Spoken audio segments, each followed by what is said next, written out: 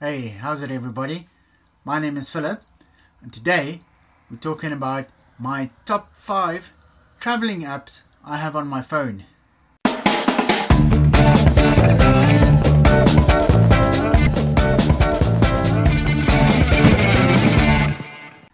Welcome back to Travel Talk, the channel we talk everything travel and I answer all your questions. And if you're new to the channel, don't forget to subscribe and you won't miss out on any more travel tips and advice coming in future videos. Now like I said, today I'm going to tell you my top 5 apps I have on my phone that's very handy for traveling. There are hundreds of apps you can download that'll be very useful for when you're traveling but the five I want to talk to you to today are the ones I also use the most. One of my favorite apps from Amazon. It's well, two different apps. Kindle, so you have your ebooks. You can read at leisure while you're traveling and you don't have to pack a whole lot of books with you. You can download the Kindle app onto your smartphone and then have all the books you want to read on your phone. I, however, prefer the Audible app. And in the link below, in the description, I'll have a link which you can click on and you can have a 30 day free trial and one free book on Audible that you can download and you can check out the app for yourself. I prefer the Audible app because when you're sitting on a bus, on a train, on an aeroplane, or anywhere where it's shaky, you can't really hold your phone or your tablet that well. It's shaking. I prefer having someone read the book for me. So all I have to do is plug in my earphone, my headset, and I can listen to the audiobooks. There are thousands of books you can download, fiction, non-fiction, you name it. Definitely one of my favorite apps. The next app is a translating app. Google Translate, very handy. And you can also download a translation dictionary so you can use it offline. It's brilliant. With Google Translate, you also get the ability to take a photo of written text and it can translate that. So like a menu, street signs, so you don't just actively have to type in your language to translate it to the foreign language or the country that you're in. It work brilliant if you have foreign language text you can use the camera and it'll translate for you.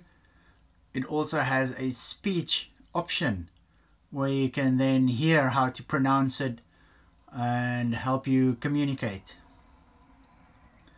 The third app would be a maps app. Google have maps, but uh, an app I use often is called City Maps. You can also download the city's maps while you have Wi-Fi or you're online and then can use it offline which I find very handy because often traveling and you're not in a high in a often traveling and you're not in a Wi-Fi spot. Using data while roaming is very expensive. But if you download the city maps app the specific city or area you're going to visit, you can use it offline and has all the information you need. It really came in handy when I was in Beijing. So happy I did it. Now I do it every time I go somewhere. Then the next app I use a lot while traveling and also preparing for traveling is a currency converter. My favorite one is XE currency and again you can use it offline if you, there are some currencies you often use, you can program them into your home screen. So they're always available. Very easy to use, fairly accurate. I mean, currencies change and exchange rates can be different whether you use it as a bank or where you exchange your money, maybe in person from someone on the street, which is not always encouraged but it'll give you a very good idea with pricing and how much things will cost, especially when currencies aren't easy to work out when it's 1 to 2 or something like that where you can quickly work it out in your head. Great app, very handy to have. Then app number 5 is the one we probably all use whether we're traveling or not and that's WhatsApp. Excellent for communication. You can send text messages, you can make voice calls, and you can make video calls. So it's a great way to stay in touch with family and friends at home or family and friends who's also traveling. You all just need a internet connection.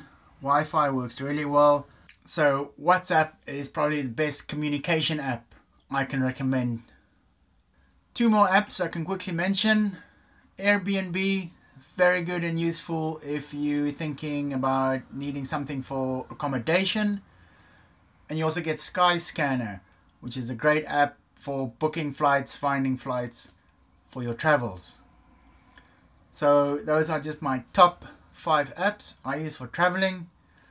Like I said in the links below, there's a link to a 30 day free trial and one free audiobook. So check that out. Brilliant. And until we talk again, keep traveling, stay safe.